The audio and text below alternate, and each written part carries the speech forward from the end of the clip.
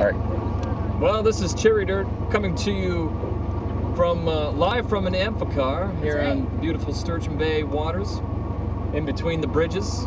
That it would be the old bridge and the new new bridge, and not the old bridge and the new bridge. These three want to make sure we got the right two.